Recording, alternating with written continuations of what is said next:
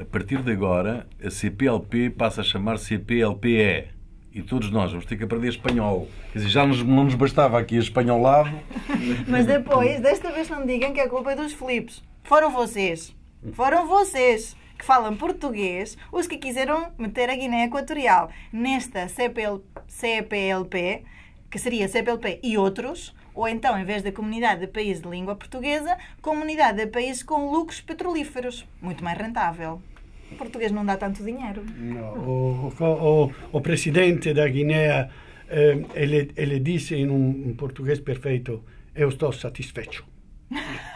Então Muito, é admitido muito, muito por aclamação. satisfeito, Muito, Muito satisfeito. Ah, Bom, o que é isso? O Obiang. Vocês vão falar mal do Obiang. Claro. O Obiang é um rapaz. É, é boa gente. rapaz.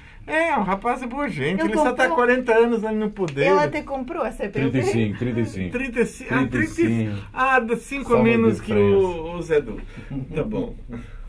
Comprou, ele comprou, tem dinheiro, pode falar a língua que quiser. Ma, ma o, o Cavaco Silva, cioè, ele era contra e depois ficou na fotografia. Os outros que quiseram, ele ali se envergonharam e não vieram. Podia pelo menos inventar uma desculpa, dizer, olha, estou desmaiando, não venho. Estou desmaiando. Bom, sim senhora. Então pronto. Ah, não se esqueçam. CPLP. CPLPE. Português e espanhol. Hã?